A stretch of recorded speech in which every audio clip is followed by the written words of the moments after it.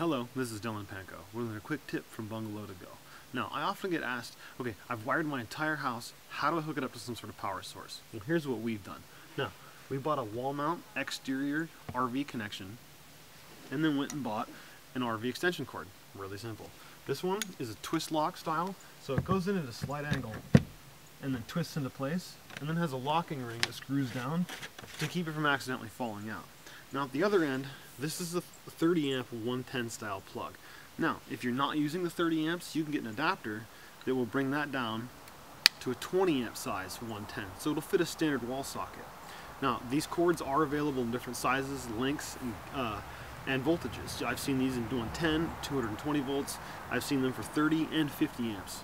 Now, do note that if you're using 30 amps, this is a special plug and you will want a dedicated circuit because most house circuits are 20 amps and lower. So if you have any questions or comments, please feel free to shoot them our way. We're here to help.